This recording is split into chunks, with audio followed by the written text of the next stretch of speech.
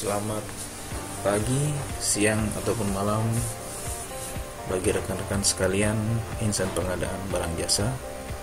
Saya Alfeatra Rapa dari bagian pengadaan barang jasa Sedda Kota Jayapura ingin berbagi terkait berita acara ataupun referensi dalam bentuk Excel yang sudah dibuatkan aplikasi sederhana terkait panitia pemeriksa hasil pekerjaan PPHP ataupun pejabat pemeriksa hasil pekerjaan berdasarkan PPS nomor 16 tahun 2018 bahwa panitia ataupun pejabat pemeriksa hasil pekerjaan memiliki peranan untuk memeriksa administrasi hasil pekerjaan pengadaan barang jasa.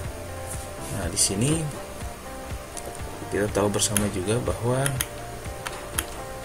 di Provinsi Papua dan Papua Barat telah terbit Perpres nomor 17 tahun 2019 tentang pengenalan barang jasa pemerintah untuk percepatan pembangunan kesejahteraan di Provinsi Papua dan Papua Barat. Yang di situ kita tahu juga bahwa PPHP maupun PJPHP memiliki perbedaan sedikit dari segi nilai di mana kita tahu kalau untuk di Perpres nomor 16 tahun 2018 bahwa tugas dari PPHP untuk barang konstruksi jasa lainnya itu paling sedikit di atas 200 juta itu dilaksanakan oleh PPHP atau Panitia Pemeriksa Hasil Pekerjaan. Untuk jasa konsultansinya paling sedikit di atas 100 juta rupiah. Dan untuk pejabat pemeriksa hasil pekerjaan yaitu seorang pejabat atau satu orang dia berperan memeriksa hasil pekerjaan untuk barang konstruksi jasa lainnya yang nilainya paling banyak 200 juta. Kalau untuk jasa konsultan paling banyak 100 juta. Ada ada sedikit berbeda untuk Perpres nomor 17 tahun 2019 di mana untuk pejabat pemeriksa hasil pekerjaan PJPHP untuk barang konstruksi jasa lainnya yang bernilai paling banyak 1 M 1 miliar maksudnya dan untuk jasa konsultansi dengan nilai paling banyak 200 juta dilakukan oleh PJPHP atau pejabat pemeriksa hasil pekerjaan. Sedangkan panitia atau tim pemeriksa hasil pekerjaan. Yang jelas ini terdiri dari lebih dari satu orang. Karena dia tim atau panitia. Di situ untuk barang konstruksi jasa lainnya bernilai paling sedikit di atas 1 M. Jadi untuk barang konstruksi jasa lainnya di Papua untuk PPS 17 tahun 2019 di atas 1 miliar di pemeriksaan hasil pekerjaannya dilaksanakan oleh panitia atau tim. Untuk konsultansinya yang bernilai paling sedikit di atas 200 juta dilakukan oleh PPHP atau panitia penerima hasil pekerjaan. Jadi ada sedikit perbedaan antara PPHP atau PJPHP di Ppres 16 tahun 2018 dengan Ppres nomor 17 tahun 2019 terkait pengadaan barang jasa pemerintah untuk percepatan pembangunan kesejahteraan di Provinsi Papua dan Papua Barat. Dari segi nilai seperti yang tadi kita sudah tahu bersama sehingga akan mempengaruhi dari penginputan yang akan dilakukan. Misalnya di sini sudah ada list untuk pengisian data yang bisa membantu Bapak Ibu dalam menyusun berita acara pemeriksaan.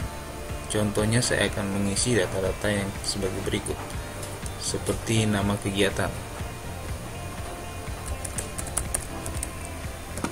Kemudian nama pekerjaan. Kemudian di sini kita memilih jenis pengadaan jenis pengadaan sini berdasarkan Perpres sudah ada empat. Kita tinggal pilih ada barang konstruksi jasa konsultansi atau jasa lainnya. Kebetulan untuk contoh saya saya pilih konstruksi karena ini pembangunan rumah Lego nih kemudian input nomor dan tanggal LPA kode atau ID RUP yang sudah ditayangkan nilai paket pekerjaan misalnya pekerjaan ini adalah dua setengah miliar kemudian kita harus mengisi lokasi pekerjaan apakah dia di provinsi Papua Papua Barat atau di luar provinsi Papua karena ini kaitannya dengan Perpres 16 2012 dan juga Perpres nomor 17 tahun 2019 yang berlaku di Provinsi Papua dan Papua Barat. Misalkan kegiatan ini di Papua sehingga lokasinya di Provinsi Papua. Kalau di sini kita bisa lihat ada bukti pembelian, kwitansi, SPK, surat penyian, surat pesanan. Tergantung dari bentuk kontrak sesuai dengan di Perpres nomor 16. Untuk nilai 2,5 M ini dia menggunakan surat perjanjian. Kemudian nomor kontrak kita bisa mengisi contohnya seperti itu tanggal kontrak ini kita bisa mengisi 10 Mei dengan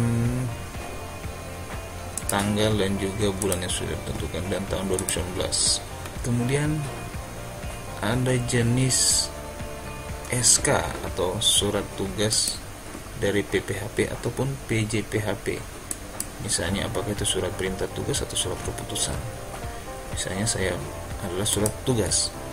Nomor SK nya kemudian tanggalnya tanggal SPT tersebut. Kemudian di sini kita akan mengisi untuk data berita acaranya. Nomor berita acara nantinya seperti nomor berapa? Pemeriksaan dilakukan hari Senin tanggal 2 Desember tahun 2019 nah di sini ada untuk meletakkan kop surat atau kop berita acara. Pemeriksaan. Kita bisa klik di sini ataupun klik di sini. Nah, kalau kita klik akan muncul seperti ini kita bisa meletakkan kop dalam bentuk JPEG atau JPG atau sejenisnya di dalam kotak putih ini.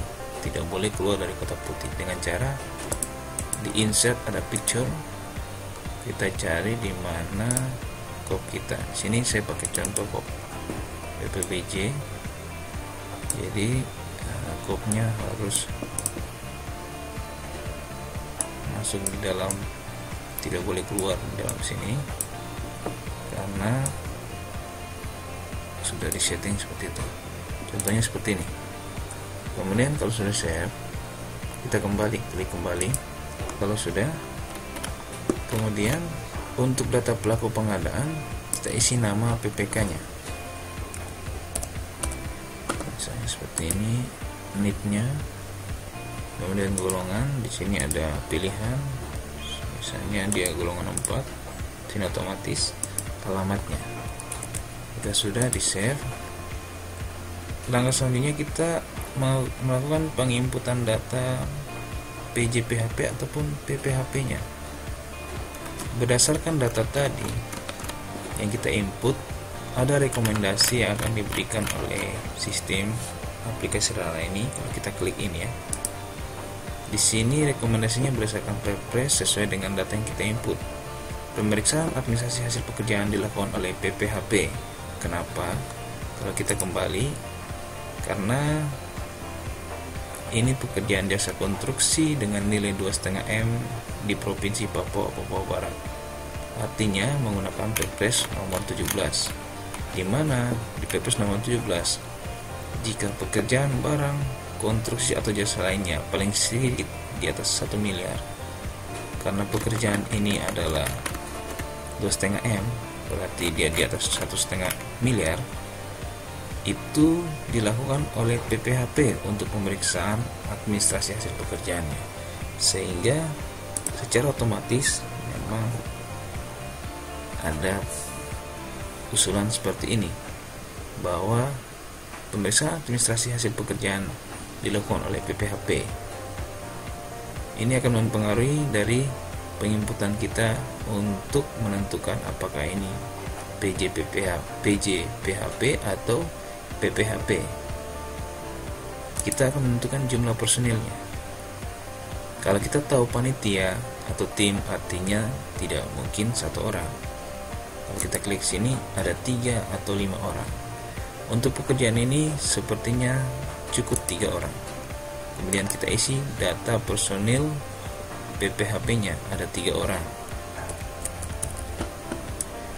Kalau sudah dilakukan pengisian uh, data personil untuk PPHP, kita bisa melakukan namanya cetak berita acaranya kalau kita lihat di sudut kanan ini ada uh, tiga pilihan untuk cetak yang pertama untuk satu personil satu personil satu personil ini untuk PJPHP atau pejabat pemeriksa hasil pekerjaan.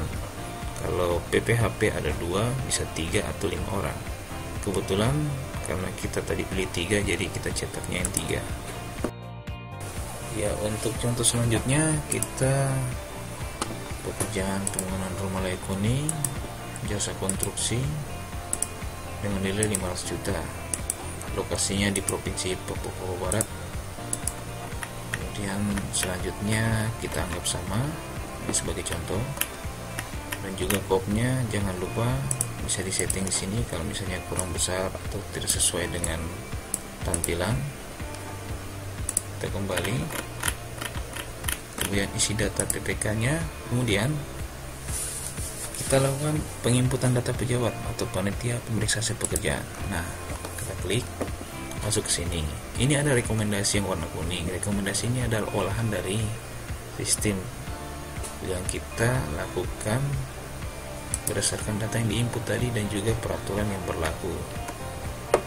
Kalau kita lihat di sini di sini dia merekomendasikan bahwa Pemeriksaan administrasi hasil pekerjaan dilakukan oleh PJPAP, pejabat pemeriksa pekerjaan. Nah ini memang kita lihat berdasarkan penginputan tadi bahwa pekerjaan ini pekerjaan konstruksi dengan nilai 500 juta di provinsi Papua Papua Barat. Kalau kita lihat berarti berlaku Perpres nomor 17 tahun 2019 tentang PBJ sehingga jika kita mengacu pasal 14 tadi bahwa untuk pekerjaan barang konstruksi jasa lainnya bernilai paling banyak 1 miliar dilakukan oleh PJPHP. Di sini untuk pekerjaan itu adalah 500 juta. Sehingga rekomendasinya sesuai dengan Perpres nomor 17 dilakukan oleh PJPHP. Oke. PJPHP tentunya jumlah personilnya kita harus tahu bahwa satu ya bukan panitia sehingga kita lakukan pengisian data personil PJPHP jika sudah dilakukan pengisian data daripada PJPHP nya kita lakukan namanya pembuatan berita acaranya berita acara pemeriksaan administrasi hasil pekerjaan untuk satu personil. Kita klik karena ini adalah PJPHP satu personil ya. Nah, bahwa data-data berdasarkan dan data yang kita input tadi. Begitu juga dengan dokumen yang akan diperiksa kelengkapannya sesuai dengan peraturan LKP nomor 9 tahun 2012 bahwa dokumen yang diperiksa adalah dokumen dari perencanaan sampai dengan serah terima. Nah, di sini secara kata tidak lengkap dan tidak memenuhi karena kita belum melakukan checklist atau pemeriksaan. Yang warna merah ini masih belum dilakukan pemeriksaan. Yang kita lakukan adalah melakukan pemeriksaan dokumen-dokumen ini. Jika memang ada dan lengkap, kita centang. Jika sudah dilakukan, kita bisa cek kembali. Nah, ini ada perubahan di sini karena data yang kita centang sudah lengkap bahwa data lengkap dan memenuhi. Sehingga jika kita cek kembali jika sudah benar nomornya dan semua deskripsi ataupun data-data yang sudah kita input tadi jika masih ada yang salah kita bisa kembali untuk melakukan pengeditan. Dari nama tadi bisa juga kembali ke depan. Jika kita sudah oke okay, kita print seperti biasa dengan Excel